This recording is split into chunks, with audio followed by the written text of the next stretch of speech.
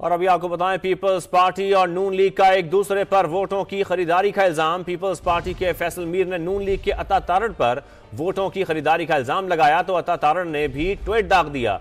बोले, एन एक सौ सत्ताईस में पीपल्स पार्टी वाले वोटों की खरीदो फरोख करते रंगे हाथों पकड़े गए। लोगों से वोट के लिए हल्फ लिए जा रहे हैं। बिलावल साहब लाहौर का अमन खराब करने आए हैं। पीपल्स पार्टी और नून लीग का एक दूसरे पर वोटों की खरीदारी का इल्ज़ाम।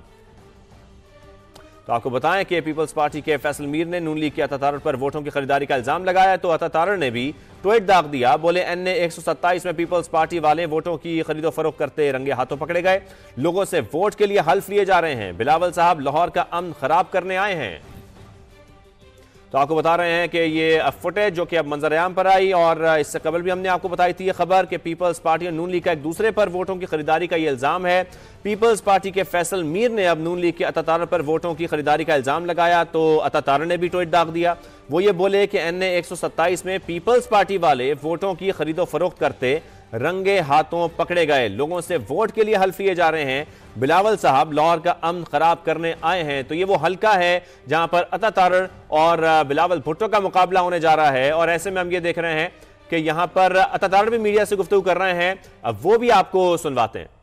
इंतज़ार फैलाना है और करप्शन की सियासत करनी है।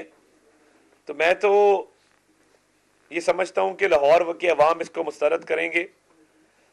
लाहौर के अवाम कतन इस बात की इजाज़त नहीं देंगे कि आप इस तरह उनके ज़मीरों से खेलें लोगों की मजबूरियों का फ़ायदा उठाएँ कतारें लगवाएँ और उसके बाद आपने मज़हब को बीच में ले आए। यानी आपने मुकदस और आग के ऊपर हाथ रखवा रखवा कर आपने लोगों के ज़मीर खरीदने की कोशिश की। ये मुकदस किताबें ये पढ़ने इस वक्त मीडिया से गुफ्तु भी कर रहे हैं।